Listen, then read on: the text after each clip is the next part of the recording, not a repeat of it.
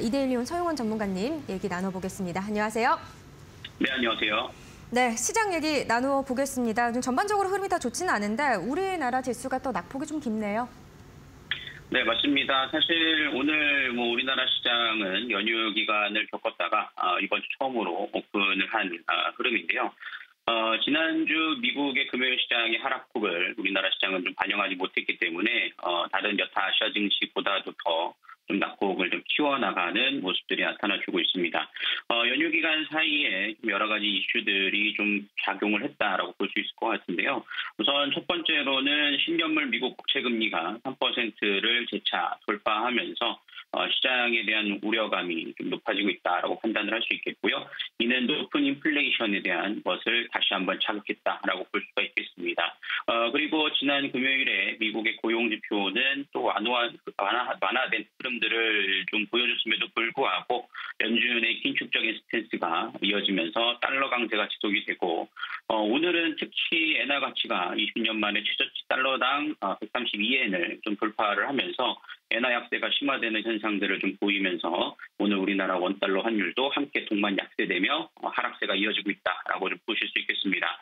그러다 보니까는 시가가 고가로 형성되고 지속적으로 좀 바닥을 좀 다지지 못하고 하락세가 이어지고 있는 상황이고요. 특히나 우리나라 시장은 이번 주 목요일에는 또 선물옵션 동시만기 까지 좀 엮여 있는 상황이다 보니까 어, 현물도 매도세가 이어지고 있지만 선물 시장에서 외국인들의 어, 매도세가 상당히 좀 크게 어, 좀 하락을 어, 만들어내고 있다라고 좀 보실 수 있겠습니다.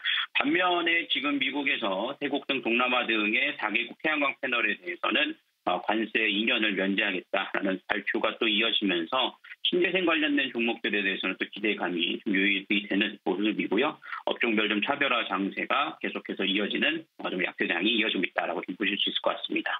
네, 뭐 말씀하신 대로 오늘 장에서 좀 움직이는 그런 섹터들을 보면 태양광 쪽 좀 움직이고 있고 여기에 뭐 정유주 관련해서 신재생 에너지 이쪽으로 좀 쏠려 있다 볼 수 있을 것 같은데 마감까지 공략할 종목도 혹시 어느 쪽을 좀 봐야 알겠습니까? 네, 뭐 지금 사실 종목을 선정한다는 자체가 쉽지 않은 장세임은 분명하겠습니다만 어, 지금 여러 가지 경제 지표의 흐름들에 의해서 좋았다가 나빴다 하는 반복되는 흐름들이 좀 나타나주고 있다라고 보실 수가 있겠습니다. 어, 그런 점에서는 좀 섹터별로 선정이 좀 필요하다라고 판단할 수 있을 것 같은데요. 오늘 좀 마감 쪽에서 좀 관심 있게 살펴볼 만한 종목은 아진엑스텍을 좀 설명드릴 수 있을 것 같습니다. 예. 어, 아진엑스텍 같은 경우에는 자동화 장비 제어기라든가 제조, 제조용 어, 로봇 제어기를 전문으로 하는 업체다라고 좀 볼 수 있을 것 같은데요.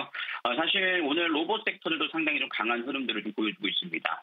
어, 최근 삼성과 현대의 어, 대규모 투자의 발표에 따른 어, 로봇 성장에 대한 기대감이 높아지고 있다라고 볼 수 있을 텐데요. 아지네스텍 같은 경우에는 과거에 삼성과 로봇 원천 기술 공동 국제 과제를 함께 개발했던 경험이 있는 어, 기업입니다. 그렇기 때문에 삼성발 로봇 기업으로서 좀 충분히 좀 기대감을 좀 가져보실 수 있는 부분들이니까요.